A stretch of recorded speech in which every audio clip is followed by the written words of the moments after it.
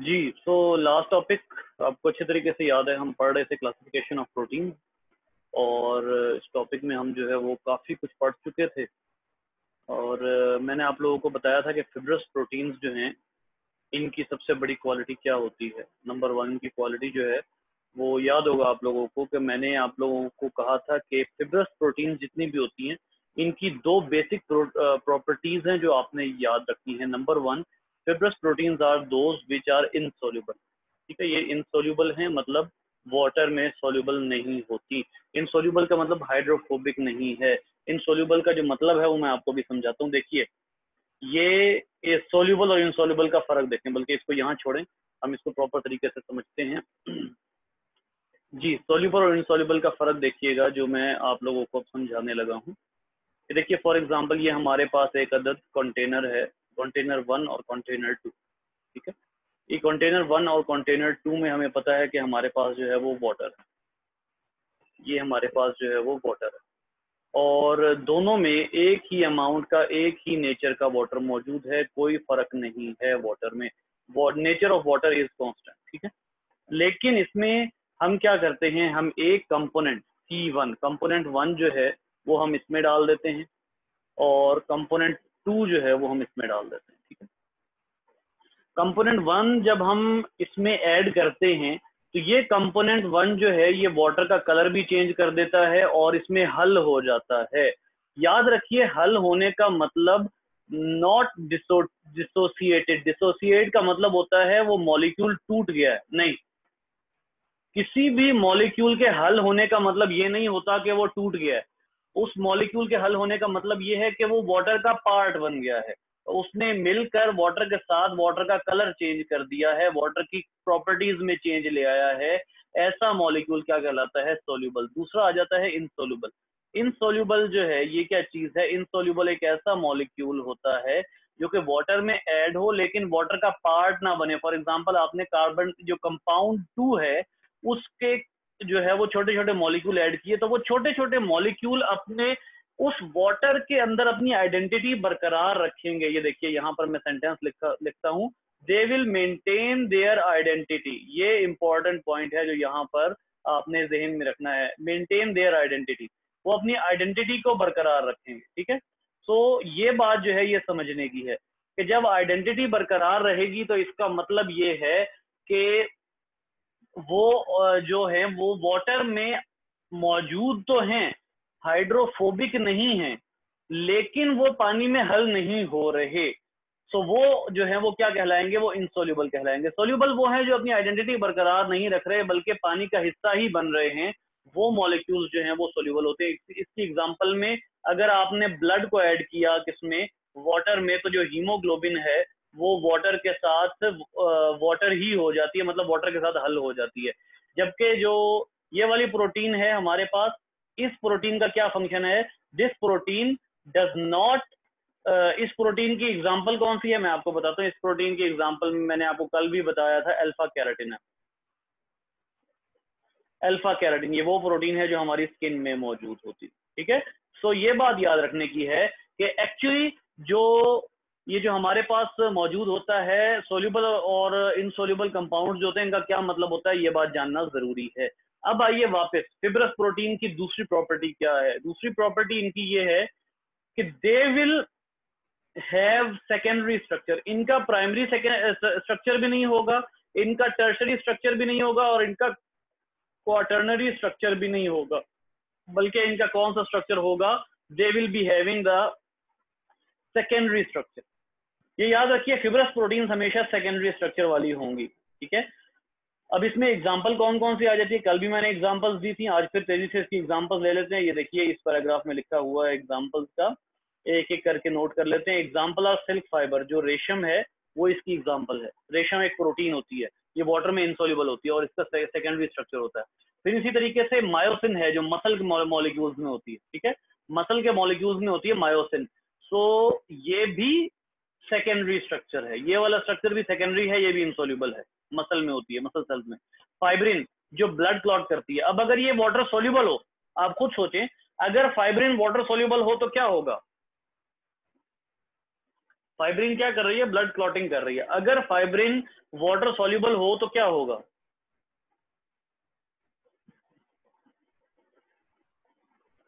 Blood नहीं clot obviously blood clot नहीं होगा, क्योंकि वो वाटर सोल्यूबल है, वो वाटर के साथ मिलके वाटर हो जाएगी तो इसका क्या मतलब है कि ब्लड क्लॉटिंग नहीं होगी, ठीक हो गया?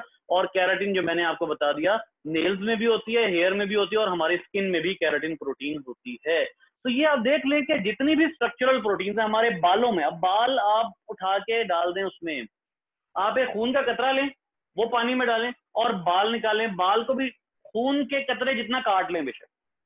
बाल को भी आप खून के कतरे जितना बेशक काट लें, आप काट भी लेंगे तब भी वो वाटर में हल नहीं होगा। मतलब क्या है कहने का?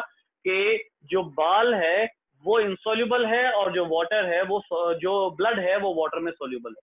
उसके बाद आ जाती है ग्लोब्यूलर प्रोटीन अच्छा जी ग्लोब्यूलर प्रोटीन की दो ऐसी प्रॉपर्टीज़ हैं जो कि ऑपोजिट टू फिब्रस हैं। अब ऑपोजिट टू फिब्रस कौन सी होंगी? फिब्रस की कौन सी ऐसी मेन प्रॉपर्टीज़ थी जो ग्लोब्यूलर के ऑपोजिट हो सकती हैं? नंबर वन जो ग्लोब्यूलर होंगी, आप अच्छे तरीके से आप गैस कर सकते हैं। जो ग्लोब्यूलर हैं, वो सोल्यूबल हैं और जो फिब्रस हैं, वो जो ग्लोब्यूलर हैं, वो सोल्यूबल हैं और उसके साथ साथ दूसरी प्रॉपर्टी क्या है कि दे हैव टर्शरी और क्वार्टरनरी स्ट्रक्चर जी बेटा टर्शरी और क्वार्टरनरी स्ट्रक्चर कौन सा था? कल भी थोड़ी सी इसके ऊपर बात हुई थी, आप में से किसी को याद है तो जरा बताइए कि टर्शरी और क्वार्टरनरी स्ट्रक्चर कौन से हैं प्रोटीन के?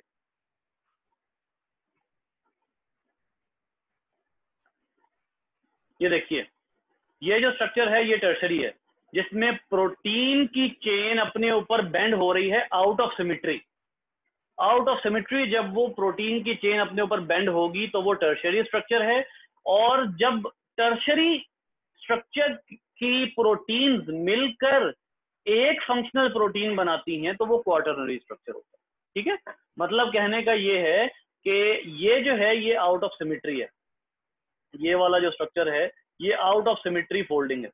अब ये जो आउट ऑफ़ सिमिट्री फोल्डिंग होती है, इसको आप क्या कहते हैं? ये टर्शरी स्ट्रक्चर होता है प्रोटीन का। जब फंक्शनल प्रोटीन बनाने के लिए आपको कई टर्शरी चेन्स ज्वाइन करनी पड़ती हैं वन टू थ्री फोर कई टर्शरी चेन्स ज्वाइन करनी पड़ती हैं क्वार्टर आपको स्ट्रक्चर बनाने के लिए। अब ये सिंगल फंक्शनल है। ये सिंगल प्रोटीन फंक्शनल है, लेकिन स्ट्रक्चर कौन सा है? इसका टर्शरी ठीक है? तो याद रखने की बात यह है कि जब एक प्रोटीन अपनी फंक्शनल फॉर्म में तब आती है जब एक प्रोटीन अपनी फंक्शनल फॉर्म में कब आए जब उसके अंदर टर्शरी स्ट्रक्चर की तीन चार चेन्स इकट्ठी जमा हुई हुई हो तो ऐसे स्ट्रक्चर को आप कहते हैं क्वार्टरनरी स्ट्रक्चर तो याद रखिए, जो ग्लोब्यूलर प्रोटीन्स होती हैं, उनमें हमेशा जो स्ट्रक्चर होता है, वो या टर्शरी होता है या क्वार्टरनरी होता है। और इसकी एग्ज़ाम्पल ये मौजूद है, ठीक है? ये वाटर सोल्यूबल होती हैं। Examples are enzyme antibodies hormones haemoglobin ये सब के सब वाटर सोल्यूबल हैं। हॉर्मोन्स भी एंजाइम्स भी एंटीबॉडीज भी सब वाटर सॉल्युबल हैं और सब के सब जो है वो ग्लोब्यूलर प्रोटीन है। इन सब में टर्शरी या क्वार्टरनरी स्ट्रक्चर होता है। जी बच्चे क्लियर है टॉपिक एनी प्रॉब्लम ये बहुत ज़रूरी है टॉपिक ये बहुत ही ज़्यादा ज़रूरी टॉपिक है।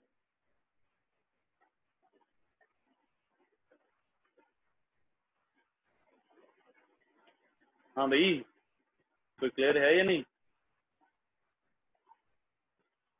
यस यस सर ओके अब आइए नेक्स्ट टॉपिक है न्यूक्लिक एसिड ये टॉपिक जो है वो हम जरा तरीके से पढ़ते हैं। बड़ा मज़े का टॉपिक है और इसको जो है वो हम इतने ही अच्छे तरीके से पढ़ेंगे। अच्छा यार अब ये जो टॉपिक है ना इस टॉपिक से पहले हम थोड़ा सा बैकग्राउंड बनाते हैं हमारा जो बैकग्राउंड है इस चैप्टर का। देखिए हमने जो है वो इस चैप्टर में शुरू किए थे बायोलॉजिकल मॉलिक्यूल ठीक है? और जो हमने बायोलॉजिकल मॉलिक्यूल्स शुरू किए थे, उसमें आपको याद है, मैंने आपको कहा था कि बायोलॉजिकल मॉलिक्यूल्स में हम तीन चीज़ें पढ़ रहे हैं जो हमारे डिस्कशन में आएँगी, ठीक है? उसमें कौन कौन सी थी? उसमें हमारे पास जो है वो नंबर वन एक ऐसी चीज़ थी जो एटॉमिक थी, यानी कार्बन पढ़ा था हमने एटम ठीक है? दूसरे नंबर पे हमने पढ़ा था मॉलिक्यूल और उन मॉलिक्यूल्स की कैटेगरीज आ गई थी इस चैप्टर में कौन कौन सी? पहला मॉलिक्यूल था इनऑर्गेनिक इनऑर्गेनिक में हमने कौन सा मॉलिक्यूल पढ़ा था? बायो मॉलिक्यूल्स में से वो था वाटर ठीक है, याद होगा आप लोगों को, हमने वाटर पे बड़ी डिटेल डिस्कशन की हुई है। उसके बाद आ जाती है दूसरी कैटेगरी जो कि है ऑर्गेनिक की। ऑर्गेनिक मॉलिक्यूल्स की कैटेगरी थी, जो हमने दूसरी डिस्कशन स्टार्ट की थी।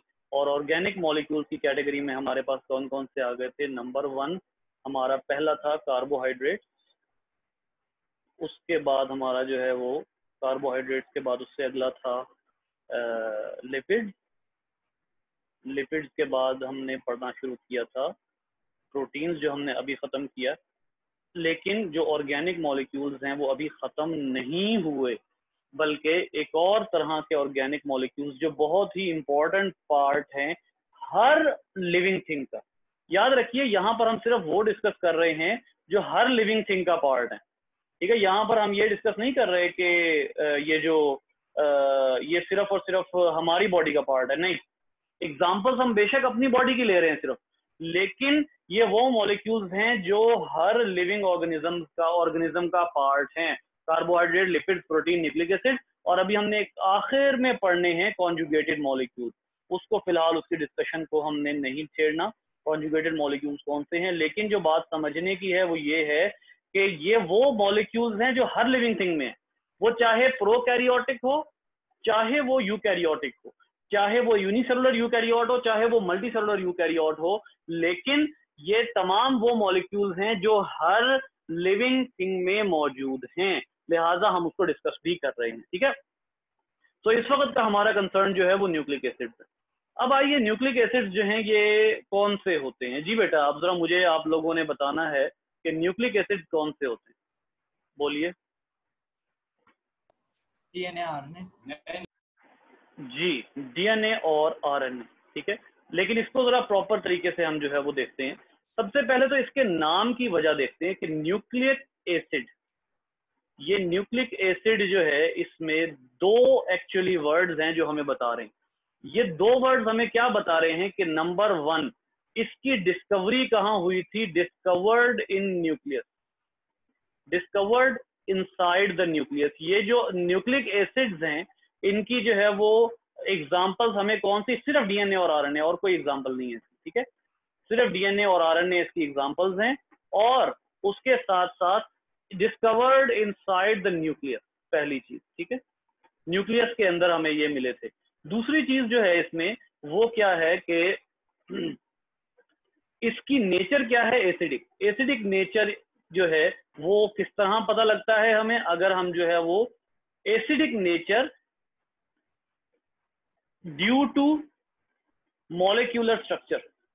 इसके मॉलिक्यूलर स्ट्रक्चर की वजह से इसकी नेचर एसिडिक है। अब इसका मॉलिक्यूलर स्ट्रक्चर कौन सा है? जी बेटा, अब यहाँ पर सवाल पैदा होता है कि अगला सवाल यहाँ जनरेट करते हैं व्हाट इज़ द मॉलिक ये मैंने आपको क्या बताया कि दूसरी प्रॉपर्टी इसकी क्या है न्यूक्लिक एसिड इसको क्यों कहते हैं? एक तो इसकी डिस्कवरी न्यूक्लियस में हुई थी। दूसरा, इसको एसिडिक नेचर की वजह से न्यूक्लियक एसिड कहते हैं। यानी ऐसे एसिडिक मॉलिक्यूल जो न्यूक्लियस में मौजूद हो, उनको हम न्यूक्लिक एसिड कहते हैं, ठीक है? यहाँ पर एक कंफ्यूजन में आपकी लाजमन क्लियर करूँगा कि बेशक ये सिर्फ़ न्यूक्लियस में मिले थे, लेकिन अब हमें ये पता है कि ये हमें साइटोप्लाज्म में भी मिल सकते हैं। ये हमें साइटोप्लाज्म में भी मिल सकते हैं। नंबर टू ये हमें माइटोकॉन्ड्रिया में भी मिलते हैं। माइटोकॉन्ड्रिया सेल्फ रेप्लीकेटिंग ऑर्गेनली है ना? माइटोकॉन्ड्रिया खुद से अपना फ़ंक्शन कर सकता है तो उसके अंदर डीएनए मौजूद होता है इसी वजह से कर सकता है। और कौन सा सेल्फ रेप्लीकेटिंग ऑर्गेनली है बच्चे? क्लोरोप्लास्ट जी क्लोरोप्लास्ट उसके अंदर भी ये मौजूद होता है। तो याद रखिएगा कि जितने भी सेल्फ रेप्लिकेटिंग ऑर्गेनली हैं, उनमें ये मौजूद है। न्यूक्लिक एसिड में इसका न्यूक्लियस का नेम क्या रेफर करता है कि ये डिस्कवर एक्चुअली न्यूक्लियस में हुआ था। बस, इससे ज़्यादा इसकी न्यूक्लियस में होना होना इसका कोई खास कारनामा नहीं है, ठीक है? अच्छा why the structure of nucleic acid makes it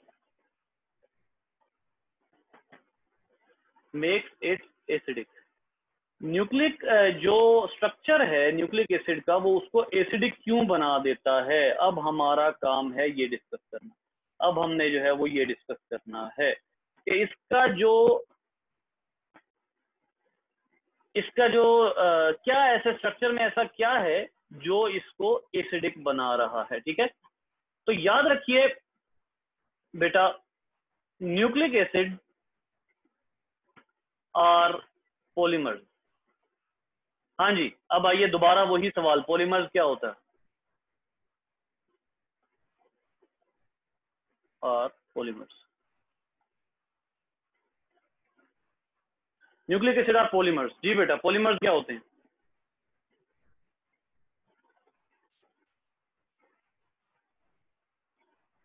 तो ये छोटे मॉलिक्यूल से बनते हैं। ऑब्वियसली मेड बाय मोनोमर्स ठीक है? जो मोनोमर्स से बनते हैं उनको हम पॉलीमर्स कहते हैं ठीक है? सो so, अब आइए इसका मतलब ये हुआ कि अगर न्यूक्लिक एसिड जो हैं वो पॉलीमर्स हैं तो उनके लाजमन कोई ना कोई मोनोमर्स होंगे। और इनके मोनोमर्स को हम क्या कहते हैं? और एक और बात भी है मोनोमर होने की शर्त क्या है? बेटा कोई बताएगा? मोनोमर होने की शर्त क्या है? एवरी मोनोमर जी कोई जल्दी से बता दे। Every monomer must have same chemical nature her monomer same chemical nature का होगा तो वो कंपाउंड पॉलीमर कहलाएगा। लिपिड पॉलीमर क्यों नहीं थे? याद आया कुछ? मैंने आपको बताया था लिपिड पॉलीमर इसलिए नहीं है कि लिपिड बनते हैं फैट और एसिड से। और फैट क्या है? हाइड्रोकार्बन चेन और एसिड अलग मॉलिक्यूल है। तो लिपिड पॉलीमर क्यों नहीं है? क्योंकि लिपिड फैट और एसिड मिलता है तो लिपिड बनता है। ठीक है? तो इस वजह से लिपिड पॉलीमर नहीं है। क्योंकि उसके मोनोमर सेम नहीं है। लेकिन ये पॉलीमर बाकी तमाम मॉलिक्यूल्स पॉलीमर क्यों हैं? तमाम मॉलिक्यूल्स पॉलीमर इसलिए हैं क्योंकि उनके मोनोमर्स की जो केमिकल नेचर है वो सेम टू सेम है। उनके मोनोमर्स की केमिकल नेचर सेम है। जी बेटा ये कुछ समझ आया पॉइंट कुछ? Yes sir. अच्छा जी मेरी आवाज़ ठीक आ रही है आप लोगों को? या कोई ब्रेक आ रहा है? थोड़ी थोड़ी सर कब? अभी? यस सर यार क्या मसला है? चलें अ, मैं करता हूँ शुरू हो सकता ठीक हो जाए।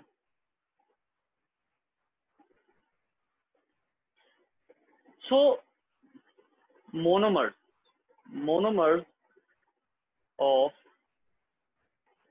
nucleic acid इसका मतलब ये हुआ कि हमने ये कहा है हमने अभी पिछले वाले पेज में, पिछले पेज पे हम वापस चलें तो हम क्या, हमने क्या कहा है? हमने कहा है कि एसिडिक नेचर किसकी वजह से है? मॉलिक्यूलर स्ट्रक्चर की वजह से। और मॉलिक्यूलर स्ट्रक्चर क्या है? मॉलिक्यूलर स्ट्रक्चर ये है कि ये जो न्यूक्लिक एसिड होता है, खास किस्म के मोनोमर से बना हुआ होता है। तो अब हम किस चीज़ की खोज में हम इस इस चीज़ की खोज में एक्चुअली कि न्यूक्लिक एसिड का जो एसिडिक नेचर है, वो किस वजह से हम इस चीज़ की खोज में। और हमने क्या कहा? उसका एसिडिक स्ट्रक्चर किस वजह से है? मॉलिक्यूलर स्ट्रक्चर की वजह से। एसिडिक नेचर जो है मॉलिक्यूलर स्ट्रक्चर की वजह से। अच्छा मॉलिक्यूलर स्ट्रक्चर की वजह से है तो देखते हैं उसकी मॉलिक्यूलर जो है वो स्ट्रक्चर कैसा है। मॉलिक्यूलर स्ट्रक्चर देखने पे हमें पता लगा कि ये पॉलीमर है।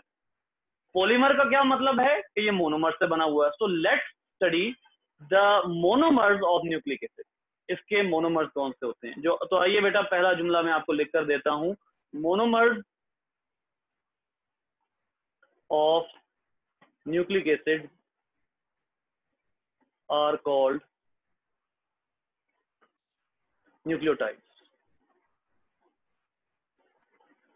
Nucleotide जो न्यूक्लिक एसिड के मोनोमर्स होते हैं, वो न्यूक्लियोटाइड होते हैं ठीक है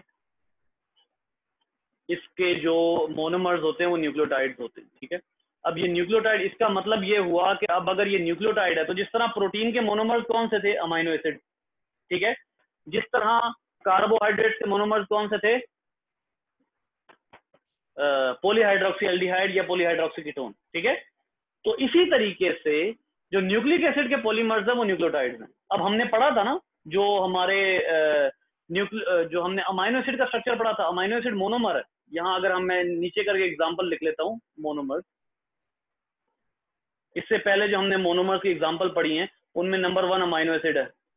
ठीक है? अमाइनो एसिड का स्ट्रक्चर पढ़ा था? याद होगा आप लोगों को? C H R C double O H और इधर आ जाता है एन एच टू ठीक है? ये अमाइनो एसिड का स्ट्रक्चर था। फिर दूसरा मोनोमर हमने क्या पढ़ा था? कार्बोहाइड्रेट्स पॉलीहाइड्रोक्सी जी पॉलीहाइड्रोक्सी एल्डिहाइड तो उसमें हमने जो है वो ग्लूकोज का चेन पड़ा था। अब वो टाइम नहीं है मेरे पास बनाने का। ये ग्लूकोज का चेन पड़ा था हमने। बिल्कुल ऐसे ही, बिल्कुल ऐसे ही हमें न्यूक्लियोटाइड का स्ट्रक्चर जो है वो पढ़ना होगा। कॉल्ड हमें न्यूक्लियोटाइड का स्ट्रक्चर पढ़ना होगा। ठीक है? सो न्यूक्लियोटाइड का स्ट्रक्चर हम पढ़ेंगे। न्यूक्लियोटाइड बेटा तीन हिस्सों पर मुश्तमिल होता है। हर न्यूक्लियोटाइड जो है, उसके तीन पार्ट्स होते हैं। वो तीन हिस्सों पर मुश्तमिल होता है। न्यूक्लियोटाइड का जो पहला हिस्सा होता है, वो होता है राइबोज शुगर। न्यूक्लियोटाइड में शुगर लाजमी होती है, ठीक है?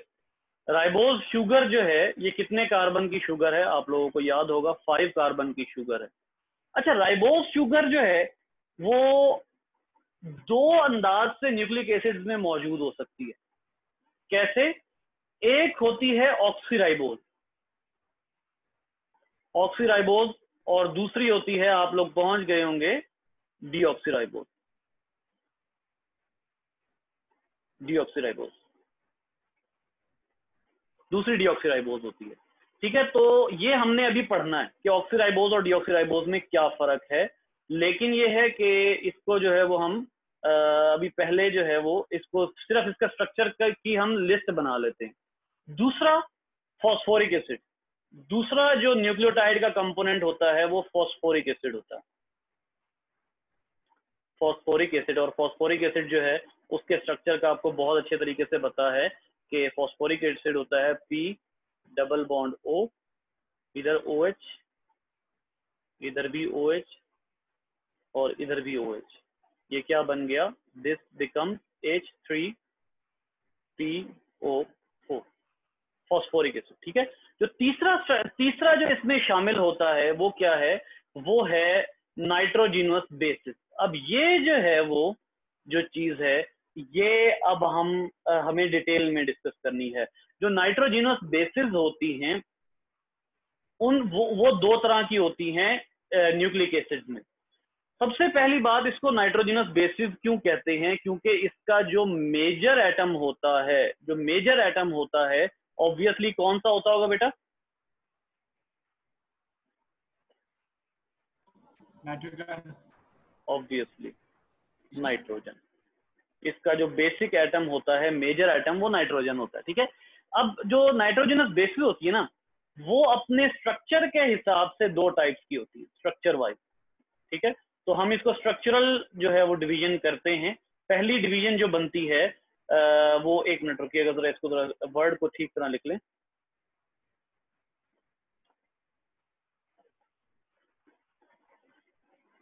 स्ट्रक्चरल ठीक है? स्ट्रक्चरल में इसकी दो टाइप्स होती हैं। एक होती है प्यूरिन जो पहली टाइप होती है that is called as purine और दूसरी जो टाइप होती है स्ट्रक्चरल लिहाज से, वो होती है पायरिमिडीन प्यूरिन और पायरिमिडीन ठीक है? ये दो टाइप्स होती हैं नाइट्रोजनस बेसिस की, जो हम कहते हैं कि स्ट्रक्चर के एतबार से ये दो जो है उसमें मौजूद होती है। अब आइए स्ट्रक्चर के एतबार से प्यूरिन और पायरिमिडीन जो है, उनका क्या जो है वो वो किस तरह से डिवाइडेड होती है? इधर देखिएगा। इधर देखिएगा। जो प्यूरिन होती है ना, इसका स्ट्रक्चर डबल रिंग्ड होता है। कैसे? एक अदद बेंजीन रिंग बनाएँगे आप benzene type ring not exactly benzene ring और उसके साथ फाइव कॉर्नर रिंग होती है। ये ये एक प्यूरिन का। प्यूरिन कौन कौन सी होती है? प्यूरिन होती है एडिनिन और ग्वानिन चा, चार तरह की बेसिस होती है ना पाँच तरह की एक्चुअली तो उनमें से एडिनिन और ग्वानिन जो होती हैं वो होती हैं प्यूरिन और पायरिमिडिन कौन सी होती हैं? थायमिन साइटोसिन और यूरेसिल ठीक है? पायरिमिडीन्स जो है, उनका स्ट्रक्चर क्या होता है? वो सिंगल बेंजीन रिंग की तरह का होता है। सिक्स कॉर्नर रिंग ऐसे करके बना होता है, बस। ये पायरिमिडीन है। ये पायरिमिडीन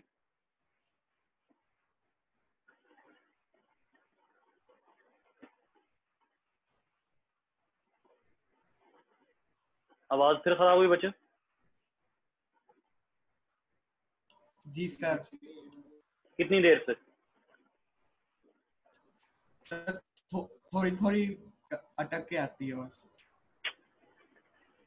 जी ये प्यूरिन्स ठीक है प्यूरिन्स जो हैं वो डबल रिंग है ए जी और पायरिमिडीन्स जो हैं वो थायमीन साइटोसिन और यूरेसिन ये तीन बेसिस हैं और ये सिंगल रिंग होती है। सो so, ये जो है वो अब हम बनाएँगे कि एक न्यूक्लियोटाइड कैसे बनता है। तो आइए एक न्यूक्लियोटाइड बनाते हैं। एक न्यूक्लियोटाइड कैसे बनता है? लेट्स सी आवाज़ नहीं सही आ रही। आवाज़ गड़बड़ कर रही है।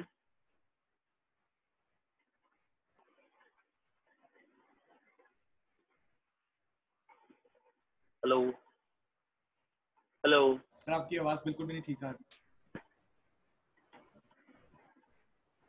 यस.